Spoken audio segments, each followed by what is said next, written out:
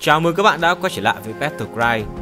Cuộc đảo chính tại Nam Việt Nam năm 1963 là cuộc đảo chính nhằm lật đổ chính quyền của Tổng thống Ngô Đình Diệm do các tướng lĩnh Việt Nam Cộng Hòa thực hiện với sự làm ngơ của Hoa Kỳ vào ngày 1 tháng 11 năm 1963. Cuộc đảo chính đã giết chết anh em Tổng thống là Ngô Đình Diệm và cố vấn Ngô Đình Nhu. Chính quyền đệ nhất Cộng hòa Việt Nam sụp đổ, chuyển vai trò lãnh đạo Việt Nam Cộng Hòa sang Hội đồng quân sự do tướng Dương Văn Minh đứng đầu. Tuy nhiên, có rất nhiều nguyên nhân cũng như những bí ẩn đằng sau cuộc đảo chính này, cũng như những cái chết rất thảm khốc của gia đình họ Ngô. Ở video này, chúng ta cùng giải mã những vấn đề này nhé. Để nói về những nguyên nhân chính dẫn tới cuộc đảo chính này, chúng ta có 3 nguyên nhân chính. Thứ nhất là do sự độc tài và gia đình trị của Ngô Đình Diệm, nhằm đảm bảo vị thế chính trị cũng như thâu tóm toàn bộ quyền lực để chống đối lại các phe phái và phía cộng sản. Ông Diệm đã tập trung tối đa quyền lực vào mình và các nhân vật thân cận, hạn chế quyền tự do và dân chủ, trở mặt với các thỏa hiệp đã ký với Hoa Kỳ và các đồng minh. Thứ hai, đó là biến cố Phật giáo. Đây cũng là một trong những nguyên nhân chính dẫn đến cuộc đảo chính năm 1963.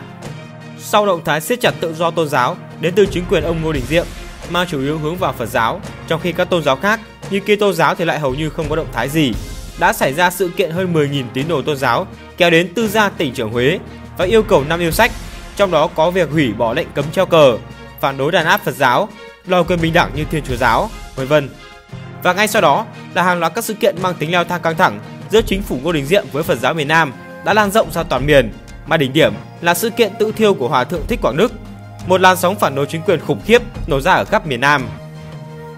Và lý do chính cuối cùng đó là những dạn nứt trong quan hệ của Hoa Kỳ và chính quyền Ngô Đình Diệm. Trong quá trình tập trung quyền lực, Ngô Đình Diệm đã vô tình trở nên bảo thủ và khó gần với chính quyền Mỹ, đặc biệt là CIA, khiến người Mỹ không khỏi dè chừng và sử dụng được các biện pháp thay thế. Và đó là ba nguyên nhân chính dẫn tới cuộc đảo chính năm 1963. Sau đây, chúng ta sẽ cùng từng bước giải mã cuộc đảo chính này nhé. CIA giật dây Người lãnh đạo phe đảo chính thích hợp nhất là tướng Dương Văn Minh. Ông ta xuất thân từ lính khố đỏ trong quân đội Liên Hiệp Pháp, được người Mỹ gọi là Minh Lớn. Ông là một tướng lĩnh hiển hách chiến công bậc nhất trong quân lực Việt Nam Cộng Hòa. Vào một ngày cuối tháng 8, theo lệnh của đại sứ Mỹ tại Việt Nam là Logie, sĩ quan Seiya Kony đã tới thăm Dương Văn Minh.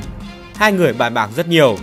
Ngay sau đó, Dương Văn Minh đã bổ nhiệm một tâm phúc của mình là Trung tướng Trần Văn Đôn làm liên lạc viên giữa ông ta với Kony, Nhằm tránh dò dỉ tin tức, ông Đôn cùng với Kony thường bí mật gặp nhau tại một phòng khám nha khoa. Theo đó, kế hoạch đảo chính đã được hoàn thiện vào tháng 10 năm 1963. Trước mọi động thái của người Mỹ, ông Diệm và phe phái của mình dường như cũng đã manh nha nhận ra vấn đề. Em ruột của ông Diệm là ông Ngô Đình Nhu, cố vấn chính trị của ông Diệm, với lưới mật thám dày đặc cũng đã ít nhiều phát hiện được điều gì đó. Ông ngày càng tỏ ra bất mãn và kịch liệt phê phán chính sách của Mỹ đối với vấn đề Việt Nam. Ông Nhu chửi Logi là đồ tiểu nhân bại hoại về đạo đức.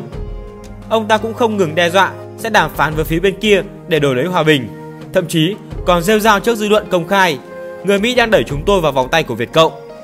Lúc 4 giờ 20 phút, chiều ngày 29 tháng 10 năm 1963, tại Nhà Trắng, Tổng thống Kennedy triệu tập một cuộc họp đặc biệt gồm 15 vị cố vấn ngoại giao cao cấp và chuyên gia an ninh quốc gia.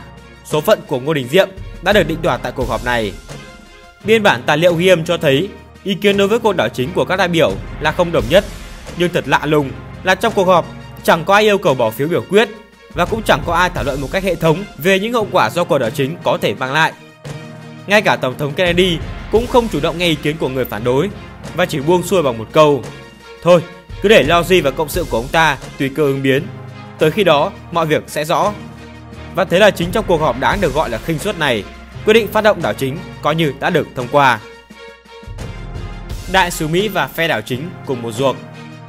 Sáng ngày mùng 1 tháng 11 năm 1963, nhằm vào ngày thứ sáu, Đại tá Hồ Tấn Tuấn, tư lệnh hải quân thuộc phe thân diệm đã tới đánh quần vợt tại một câu lạc bộ sĩ quan. Trên đường đi ăn cơm trưa, ông Tuấn bị gã phụ tá của mình nổ súng giết chết. Kẻ giết ông ta là một trong những kẻ vạch kế hoạch đảo chính. Việc hạ sát này hoàn toàn không nằm trong kế hoạch. Nhận được tin, ông Dương Văn Minh biết rằng lúc này chỉ có thể dốc túi đánh canh bạc cuối cùng nên đã quyết định tiền hạ thủ vi cường. Lệnh vừa ban ra, các lực lượng bộ binh, kỵ binh và không quân được móc nối liền chiếm các cứ điểm quan trọng trong thành phố. Các cơ quan chủ chốt nhanh chóng nằm trong tay phe đảo chính. Nhằm đề phòng lực lượng ủng hộ Diệm từ các tỉnh ngoại vi đổ về giải vây, quân đảo chính đã bố trí lực lượng mạnh chốt chặn tại các cửa ô dẫn vào thành phố. Dương Văn Minh ban đầu quyết định nếu anh em Diệm Nhu đồng ý đầu hàng thì phe đảo chính sẽ sẵn sàng mở cho họ một con đường sống. Nhưng khi điện thoại gọi vào Dinh Gia Long thì lại không thấy anh em họ Ngô nhấc máy trả lời. Ông Diệm vốn là một tín đồ Thiên Chúa giáo rất ngoan đạo, luôn tin có thượng đế phù hộ nên dù gặp tai nạn cũng không hề lo sợ. Suy đi tính lại, ông Diệm quyết định gọi trực tiếp cầu cứu Logi. Tại Sài Gòn này, có một số tướng lĩnh quân đội không muốn phục tùng sự điều hành và chỉ huy của chính phủ. Ông Diệm thử thăm dò. Tôi rất muốn biết thái độ của người Mỹ các ngài nhận định về việc này như thế nào. Xin lỗi, từ trước tới nay tôi chưa từng nghe nói về tin tức có liên quan tới đảo chính. Logi giả vờ ngây ngô để tìm cách thoái thác. Và lại, hiện đang là 4 giờ 30 phút sáng tại miền đông nước Mỹ. Washington không thể ngay lập tức trả lời ngài được. Nhưng về phía ngài thì chí ít cũng có cách nhìn khái quát chưa ạ? Tôi hiện tại chỉ mong được làm theo mọi yêu cầu của người Mỹ các ngài và sẽ cố gắng hết mức. Tôi tin rằng nhiệm vụ mà nước Mỹ giao cho chúng tôi là rất tối cao. Đúng vậy, ngài tổng thống đã hoàn thành rất tốt sứ mệnh của mình. Nhưng điều tôi lo lắng là hiện nay an toàn tính mạng của ngài. Nghe nói, nếu các ngài đồng ý chủ động từ chức thì những kẻ chủ mưu chuyện này sẵn sàng cung cấp mọi phương tiện cho anh em ngài rời Việt Nam. Không rõ, ngài đã nhận được tin này chưa? Đầu dây bên kia, Diệm chết lặng, không nói được thêm câu gì. Ông ta ngay lập tức hiểu ra rằng Logi và phe đảo chính là cùng một ruột. Anh em họ Ngô bị hành quyết. Lúc 4 giờ sáng ngày hôm sau, quân đảo chính mở cuộc tấn công ồ ạt vào Dinh Gia Long. Khi trời sáng rõ, từ một ô cửa sổ trên tầng gác có một lá cờ trắng nhô ra vẫy vẫy. Phía quân đảo chính cử một viên đại úy tiến thẳng vào dinh để tiếp nhận đầu hàng. Nhưng thật không ngờ, người này vừa bước tới cửa thì liền lãnh một phát đạn trúng ngực gục xuống. Đám binh sĩ bị chọc giận nổi khùng, chửi thề tùm lum, hò nhau nhất loạt xông vào dinh Gia Long như bầy ong vỡ tổ. Nhưng họ lục soát khắp mọi ngõ ngách mà không tìm thấy tung tích của hai anh em Diệm Nhu đâu. Thì ra, biết trước nguy khốn, hai anh em họ Ngô đã bí mật lên chợ lớn.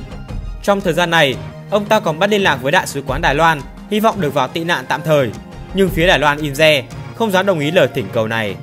Tới bước đường cùng, Ngô Đình Diệm ý thức được rằng cái chết đã cận kề. Ông ta cố tình kéo dài thời gian bằng cách thân trinh gọi điện cho kẻ cầm đầu phe đảo chính, báo tin sẽ chuẩn bị nghi thức đầu hàng tại một nhà thờ. Nhưng ông ta đâu có ngờ được rằng chỉ trước đó vài giờ đồng hồ, nhóm chủ mưu đảo chính đã quyết định số phận của ông ta. Dương Văn Minh thân trinh chọn lựa cắt cử một toán quân, trong đó có cả một thích khách. Toán quân này đi trên hai chiếc xe jeep quân sự và một chiếc xe bọc thép M113 lao về phía nhà thờ. Anh em Diệm Nhu bị trói, bị nhét vào chiếc xe bọc thép. Tới nước này rồi mà cố vấn Ngô Đình Nhu vẫn chưa hết phách lối, quắc mắt quát nạt. Các người dám dùng chiếc xe như vậy để rước tổng thống ư? Thật chẳng ra thể thống gì cả. Nhưng chẳng người lính nào thèm để ý tới thái độ của ông ta. Đoàn xe rông thẳng một mạch về sở chỉ huy của phe đảo chính. Chẳng ai biết trên đường đã xảy ra chuyện gì. Khi cửa trước xe bọc thép M113 mở ra, chỉ thấy anh em Diệm Nhu nằm gục trên vũng máu, thân mình thì chi chít vết đạn. Ngô Đình Nhu còn bị thêm mấy nhát đâm vào ngực. Cả hai anh em đã chết rồi. Người cầm đầu toán hành động đặc biệt đã bước thẳng tới Dương Văn Minh, đứng nghiêm, giơ tay ngang vành mũ chào và hô lớn. Trình đại tướng, nhiệm vụ đã được hoàn thành suôn sẻ bằng tiếng Pháp. Trước cảnh tượng này, tướng Trần Văn Đôn đứng cạnh, ngó vào cũng thấy lạnh sống lưng. Mãi một lúc sau, ông mới ấp úng hỏi thượng cấp của mình. Không hiểu tại sao, cứ phải nhất định giết chết ông ta mới được. Ủy viên Hội đồng An ninh Quốc gia Mỹ Foster sau khi nhận được cú điện thoại đường dài từ Sài Gòn gọi về, vội vàng gọi vào Nhà Trắng, báo tin anh em Ngô Đình Diệm đã bị phe đảo chính giết chết. Kennedy khi đó đang chủ trì một cuộc họp, nghe tin xong thì choáng váng như bị sét đánh ngang tai. Đang ngồi, Tổng thống Kennedy cứ nhấp nhổm không yên, sắc mặt ông ta trắng bệch, kinh ngạc và buồn rầu. Tôi chưa từng thấy ông ta gặp tình cảnh như thế bao giờ. Chủ tịch Hội đồng Tham mưu trưởng Liên quân Mỹ, Đại tướng Tyler kể lại, Tổng thống luôn kiên trì chủ trương trục xuất Ngô Đình Diệm ra khỏi Việt Nam là đủ rồi và dặn dò phe đảo chính chớ lên đổ máu. Nhưng sự thực thì xảy ra hoàn toàn trái ngược với ý nguyện của ông. CIA cuối cùng đã có trong tay một bức ảnh ghi lại cảnh anh em họ Ngô bị bắn, máu thịt thì nhòe nhòe, hai tay thì bị trói quạt ra sau lưng, thê thảm tới mức không lỡ nhìn lâu. Trong cuộc họp nội bộ ngày 4 tháng 11, Cố vấn an ninh quốc gia Mỹ Bonnie đã cảnh báo không được để lộ bức ảnh này. Nhưng chỉ hai hôm sau, hình ảnh anh em Diệm Nhu bị thảm sát được phóng to hiện trên trang nhất hầu hết các tờ báo tại Mỹ. Cả nước Mỹ bàng hoàng và cả thế giới dùng mình.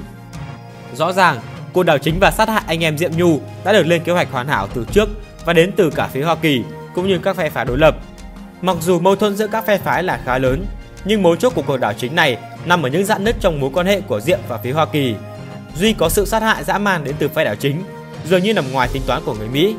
Hãy ủng hộ Battleground Team bằng cách follow và tương tác với fanpage Battleground người kể sử trên Facebook nhé.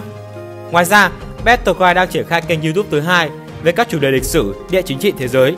Subscribe kênh và ủng hộ team mình nhé.